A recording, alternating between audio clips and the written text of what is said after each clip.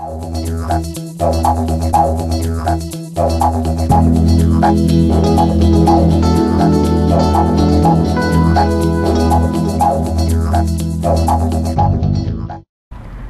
my name is Lizbeth Ortiz and I'm a visual artist living in Houston, Texas.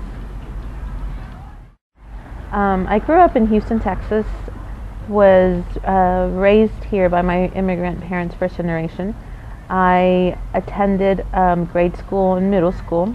Briefly lived in Mexico for six years where I was influenced by the colors and the um, public art in Mexico in my art. It wasn't until I moved for college to New York and lived there for 10 years that that really inspired me to bring it out in my artwork. The rich colors that I would see growing up in the marketplace, um, the public art in, along the freeways. Um, it's been a reflection of who I am and the things that make me up. Family was a tight knit family. We uh, only had a couple of relatives here, the rest lived in Mexico, so we were very, close. I grew up in a strict Catholic Mexican household, so I wasn't very I wasn't allowed to go out to parties or stay out too late. But that had a, a lot of structure in my upbringing, things that um, I respect and now consider valuable to who I am and the character that was built and installed in me. Coming from a traditional family, um, we would have traditional Mexican meals, things that kids at school wouldn't uh, necessarily know. Um, and it had, you had to find a balance within your social life outside of the home and your family life, uh, which is where the two cultures collided and brought a lot of issues of identity. Um, the learning how to talk English without having such a predominant accent, so you could assimilate the culture and, and blend in with others.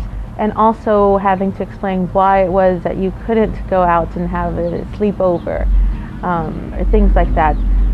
Again were foundations to the to the character that um, that I grew up with and have today so it, it, played they both played a big role and are issues that I deal with in my work constantly the struggling to keep a balance between um, my background my present and my future the first paintings, I have to say my first painting that I was satisfied with and could call it was in college. My junior year, I took my first oil painting class.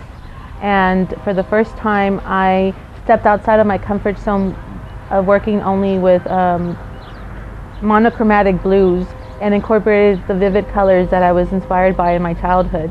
Um, I would say that 1997 was the first year that I painted a five by four uh, foot painting of a tree that I had, um, a plant. And I started incorporating textures along um, with my painting. So that was really the beginning of the technique that I now um, have developed where I incorporate different mediums like gels and modeling paste as a foundation and then use oil painting on top high school, I had the fortune of attending the High School Performing and Visual Arts in Houston, Texas, where I was introduced to sev- uh, several mediums welding, printmaking, photography, ceramics. Uh, it was a fortunate experience, experience. From there, I knew that the arts were where I wanted to go professionally. I then had the um, great fortune to getting a scholarship to Pratt, where I went as a fashion major. The first two years I dedicated uh, to fashion and truly loved the technique and everything to do with fashion except the industry. So I decided to change back to fine arts and found it was a happier uh, medium for me. I could express myself freely and not be so constrained by the wonders of you know somebody going to come and steal my ideas. Um, after going switching my major and finishing, I was content with the idea of becoming an artist, but still knew that I had to make a living somehow. So I worked at an advertising agency for a year or so, and then 9/11 happened.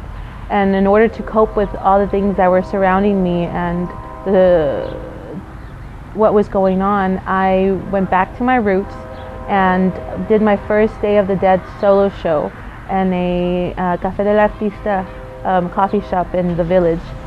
and really was able to bring some sense to my own clarity and uh, to my mind and also help the people around me. It was a magical experience and that's when I knew that the bridge um, of using art as art therapy was so strong and powerful. And from that day on, I decided that uh, no matter what I was doing or where I was, art was going to be uh, a life um, passion for me. It really was my lifeline to